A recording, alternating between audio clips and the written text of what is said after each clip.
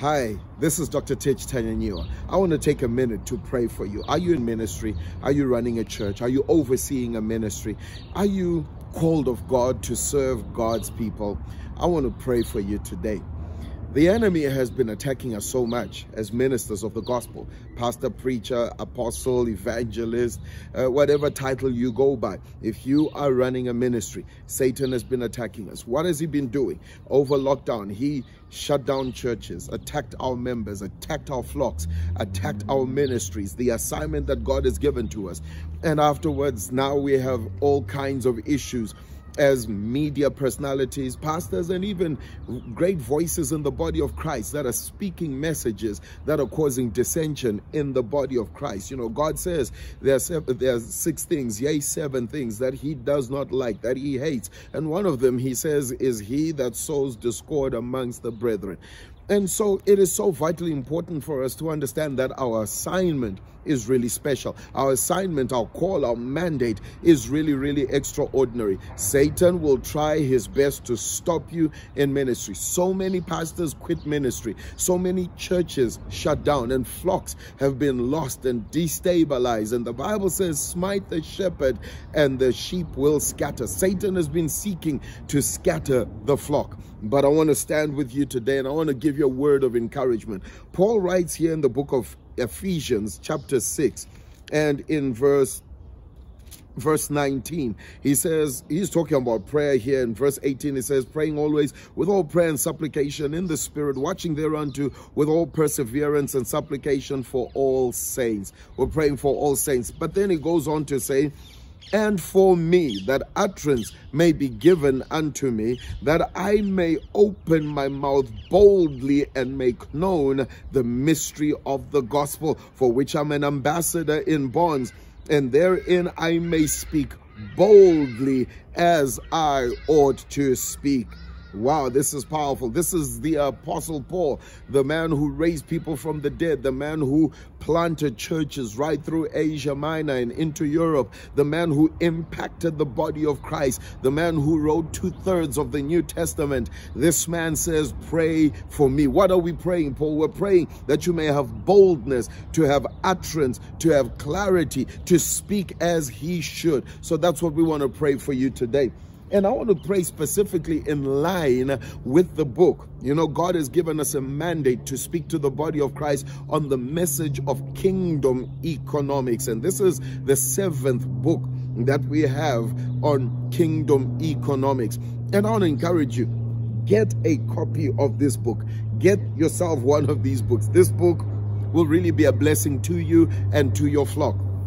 Now, what what what is the what is the importance of this book? One of the key things about the vision that God has given you, the assignment that God has given you, is you need to impact lives, build churches, raise leaders, equip people, minister to the needy, minister to those that are going through different situations, get people out of getting evicted, etc., etc. And many people don't even know that this is what we do as pastors. We are up late at night rescuing marriages, ministering to kids kids, going to hospital, praying for the sick, praying for the dying, doing funerals. We are doing all kinds of ministry work.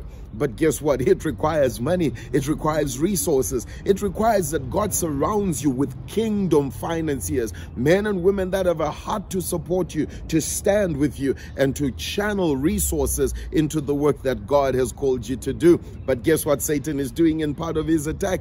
He is stopping the message on tithing, on giving, on sowing, on being actively involved in the financial increase and the financial affairs or what we call the kingdom fiscal policies of your local church. Satan is attacking your givers. Satan is attacking your tithers. Satan is attacking your flock. Why? So that they stop sowing and giving into the work that God has called you to. So what must we do? Have a boldness, like Paul says, that I may speak the word of God boldly as I should. More than ever before, we need pastors and men of God, women of God that will speak on the message of tithing and giving and sowing into the kingdom of God. More than ever before, we need to boldly arise and declare that men or women must arise and become kingdom financiers through their tithes, their offering, their seed. Satan is against this message because he knows, in fact, the subtitle here, why Satan hates tithing. And we talk about that. Why does Satan hate tithers? Why does Satan hate people tithing into your ministry?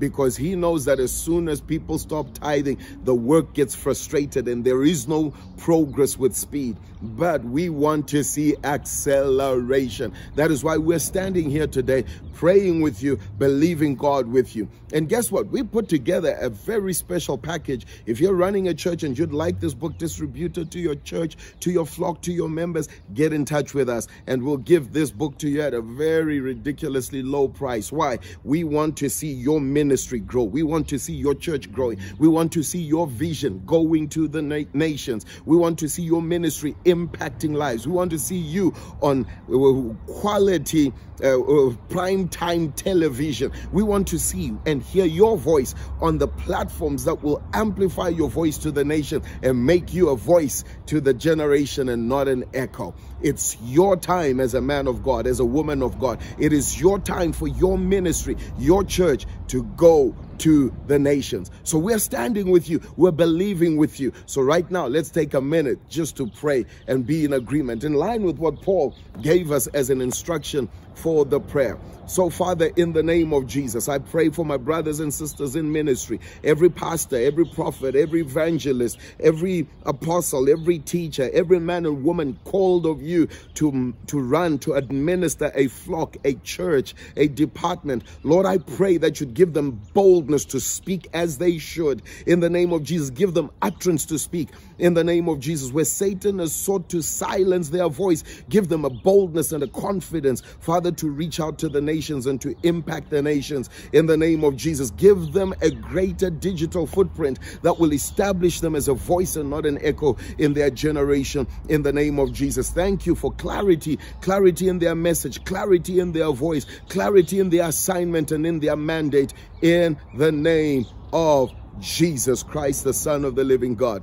We standing with you, we're believing with you, and I'm here to declare, let's hold hands and support one another. Let's encourage one another, and together we can preach the gospel of Jesus Christ until he comes. We can preach and get multitudes to come and be a part of our flocks. That's the plan of God. Satan is defeated. The gates of hell will not prevail the kingdom of God is expanding, and to the increase of his kingdom there shall be no end until we shall hear that voice saying, The kingdoms of this world have become the kingdoms of our God and of his anointed one. God bless you.